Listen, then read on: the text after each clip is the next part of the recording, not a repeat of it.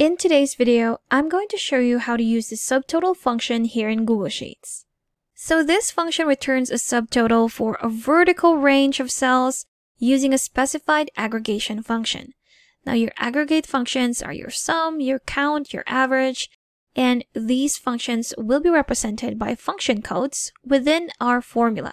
So here's our syntax, and we're going to learn more about this later, especially those function codes.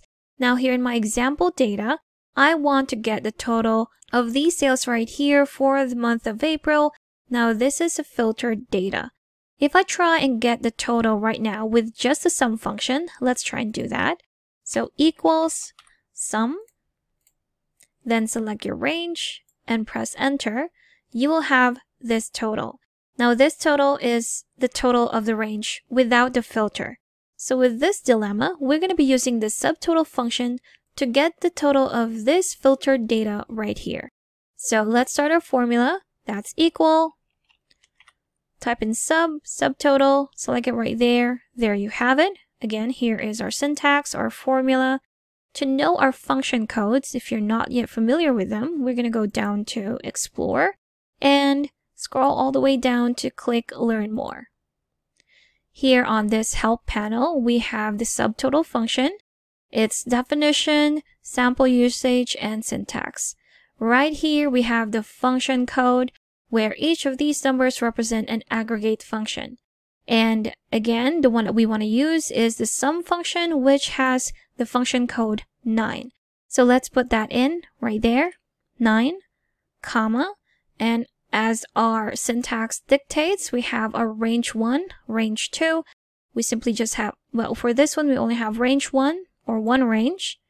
And there you have it. We already have a preview of how much our total sales for this filtered data is, which again, not equal to this one right here. Let me just format that into our currency. There you have it. So that's the main difference of using your subtotal function with your sum function. Subtotal function excludes your filtered data and at times your hidden data as well. Right below our syntax here, we have hidden values can be skipped for any of these codes by prepending 10 to the single digit codes.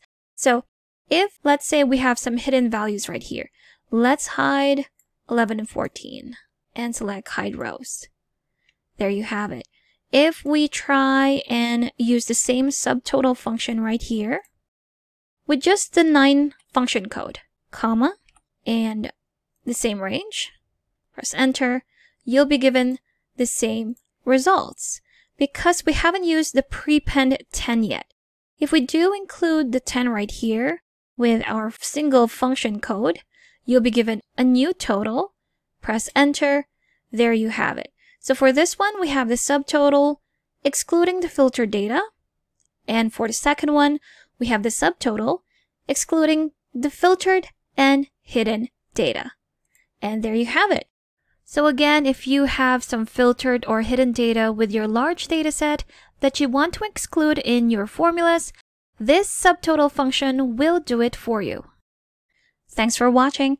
If you found this video helpful, do leave a like and subscribe for more helpful videos. See you on the next one.